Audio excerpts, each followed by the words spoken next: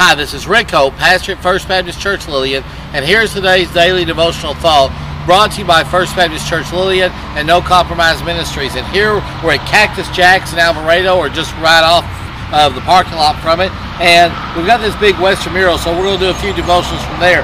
Here you got the Roy Rogers looking guy, John Wayne, whatever. And what's he doing? Well, he's watching out for things. He's watching the stagecoach go by. He's watching to make sure they're protected from the Indians. He's watching for coyotes. He's watching. He's protector. That's his role.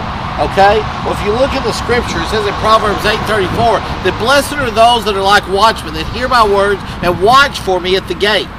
We are to be ever alert and watching and seeing how the Lord is working. One of the fun things I like about these devotionals is we're constantly finding God in even the smallest of details and able to point out exactly how He's working and what He's doing. Look for God today. Look for Jesus, and you'll find Him.